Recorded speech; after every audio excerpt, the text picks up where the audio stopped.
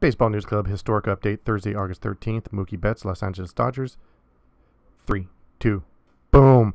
Takes a 94 mile per hour fastball, opposite field, 404 foot shot. Just crushed it. Mookie doing it to the Padres, and even Paddack's looking at it like, how the heck did he hit an opposite field home run off that pitch? Bottom of fourth, bam. Takes a 95 mile per hour pitch, crushes it for his second home run of the day.